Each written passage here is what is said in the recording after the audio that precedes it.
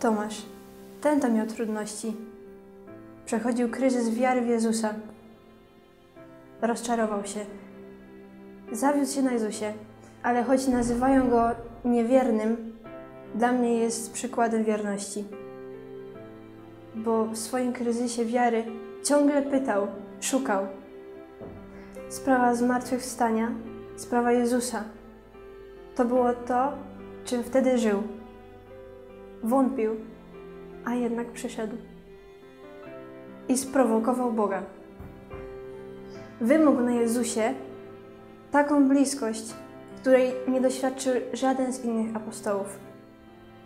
Bliskość, która wyraziła się w dotknięciu. I znów zaczął wierzyć. Już inaczej, dojrzalej. Wierzył nie tylko w Jezusa, ale uwierzył Jezusowi. Uwierzył, że to, co mówił, jest prawdą. Zaufał mu i od tej pory był gotowy oddać za niego swoje życie. Kiedy Chrystus przychodzi, nie ma wśród nich Tomasza i Tomasz nie wierzy w to, że on, e, że on był, e, że on rzeczywiście do nich przyszedł. Mm, Jest taki obraz spotkania Jezusa ze świętym Tomaszem, e, Dudy Gracza, e, który znajduje się na Jasnej Górze. E, Tam w tym obrazie Tomasz jest lekarzem. Ja mam na imię Tomasz. Jestem też lekarzem, dlatego ten obraz szczególnie zawsze mnie poruszał. Tego Tomasza, który sprawdza rany Chrystusa, sprawdza, czy, czy rzeczywiście to jest Chrystus, czy to prawda, który nie umie uwierzyć. Mm, Ja też jestem takim trochę człowiekiem nauki i nie umiem uwierzyć często w działanie Pana Boga, że On działa realnie, mocno, konkretnie dzisiaj w moim życiu, że dokonuje też cudów i znaków. I ten obraz, ta scena mm, bardzo mi pokazywała to, żeby uwierzyć, e, uwierzyć w konkretne znaki e, w moim życiu Jezusa Chrystusa, w to, że On, On działa i też potrafi dokonywać cudów, nie tylko kiedyś, 2000 lat temu, ale też dzisiaj, e, każdego dnia, przez tych, których ja spotykam i nawet też przeze mnie. Przechodziłam najmocniejszy okres mojego życia. Pytałam Boga, po co mnie stworzył, że musi mi przekonać, że jest po co żyć dalej. Wstałam rano z takim mocnym przekonaniem, że powinnam iść- iść do spowiedzi. Przybyłam właśnie tutaj, aby Jego doświadczyć, Jego spotkać, tego miłosiernego Boga, o którym tak dużo słyszałam. I właśnie Go tu spotkałam. Powiedział mi, ja Cię nie potępiam, idź i nie grzesz więcej.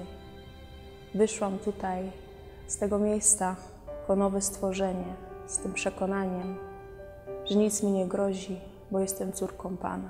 Pamiętam, jak kiedyś pożyczyłem samochód od dziadka i pojechałem na zakupy.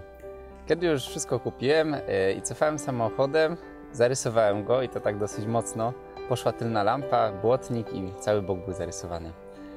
E, Bardzo się stresowałem, kiedy miałem wrócić do domu, bo wiedziałem, że muszę opowiedzieć o tym dziadkowi.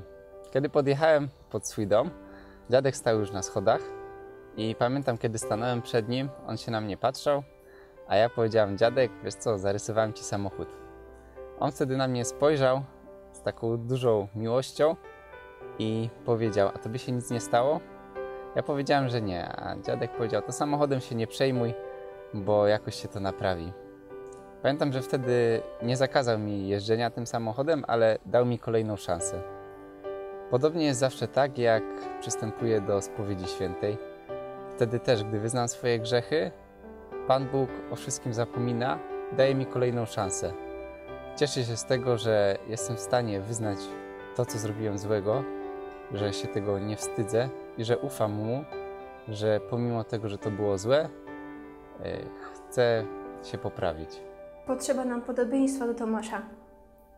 Pytać, szukać i prowokować Boga.